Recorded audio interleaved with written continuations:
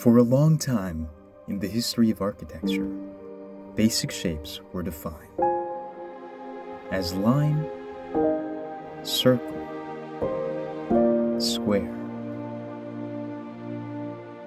But then Gaudi appeared and changed the base of architecture to nature.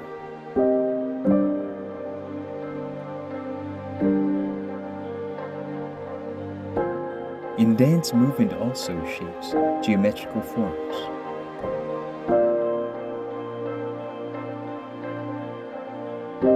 And just like with Gaudi, the history repeats itself. Because the base of the dance was changed to touch.